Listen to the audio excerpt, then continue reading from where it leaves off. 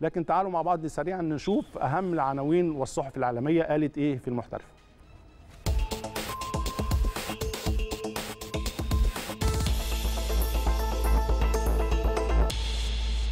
يلا كالعادة هنبدأ من أسبانيا جريدة ماركا الأسبانية اللي طبعا اهتمت يعني بصعود فريق جيرونا للليجا بعد الفوز على تنريفي 3-1 في إياب ملحق الصعود وكتبت جيرونا يصعد.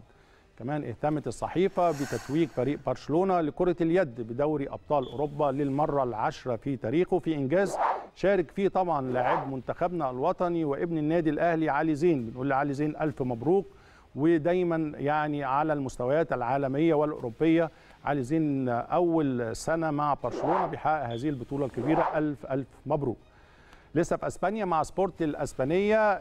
طبعا اللي نشرت صورة لاحتفال زي ما بقول لحضراتكم فرقة كرة اليد بنادي برشلونة واللي كان طبعا ظاهر فيها نجمنا المصري علي زين وكان طبعا علم مصر كمان بيرفرف. كتبت الصحيفة واهتمت الصحيفة باللاعب فرانك ديانج كمان لاعب برشلونة وكتبت ديانج يملك مفتاح مستقبله. طبعا حضراتكم عارفين إن ديانج يعني مطلوب بشكل كبير جدا في المان يونايتد وطبعا ديانج من اللعيبة المميزة جدا في برشلونة ولكن في اعتقادي الشخصي اقترب كثيرا من ال Premier League والمان يونايتد.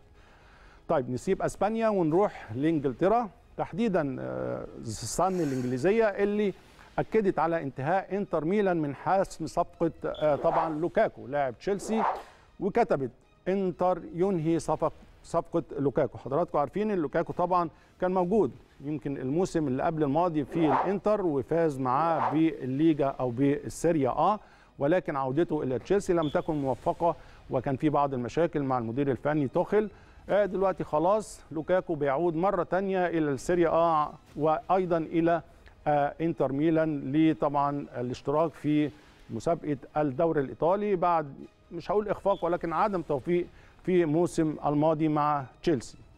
طيب يلا بينا على فرنسا ونروح لصحيفة لكيب الفرنسية.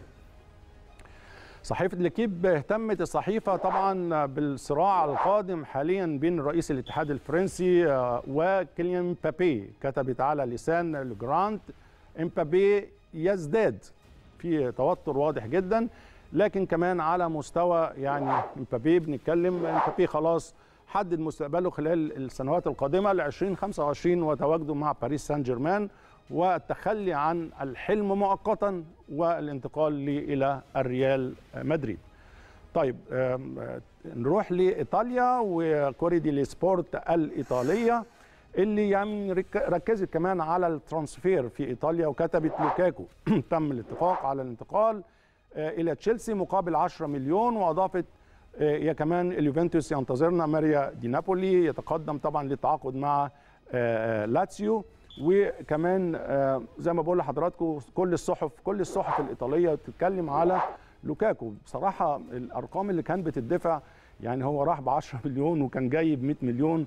طبعا أرقام كبيرة جدا جدا. وزي ما بقول لحضراتكم حتى على مستوى الصفقات الكبيرة اللعيبة الكبيرة هل هيخش في الترس؟ هل هيخش ويفيد؟